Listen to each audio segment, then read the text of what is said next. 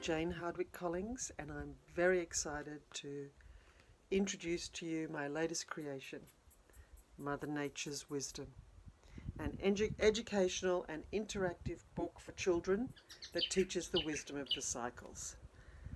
There's lots of things that I'm very excited about within this book, including that it's printed on 100% recycled paper and both the paper and the printing are created using renewable energy, walking the talking.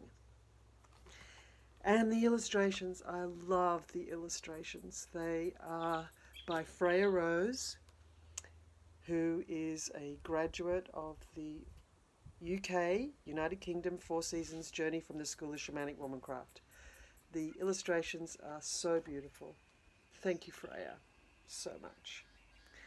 So the illustrations and the words throughout the book hold within them the wisdom of each phase and take us through the ongoing change and transformation that happens through the seasons of the earth over a year.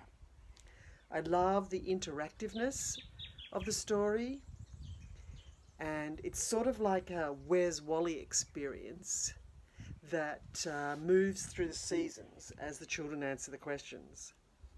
The journey through the cycles moves from the Earth's seasons to our life seasons and to the lunar cycle and the moon phases with suggestions and prayers for intentions to do at various phases of the moon. A wonderful practice to introduce to children and the whole family. And one of my favourite parts of the book is the introduction to women's cycles. There's a brief mention about menarche and menstruation and menopause. Important information for, for a holistic education for our children. Basically, the story and the illustrations offers ways to flow with the cycles and the wisdom teachings of the earth's song of life.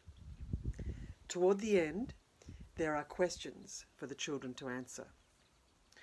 What is your favourite season? What is your favourite animal? What is your favourite game? What is your favourite food? What do you want to give thanks to Mother Nature for?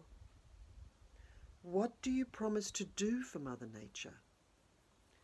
What message do you have to give Mother Nature today.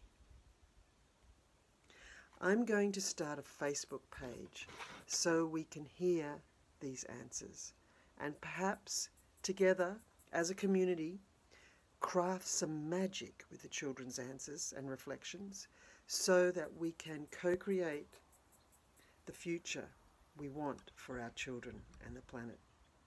Thank you. I hope you enjoy it.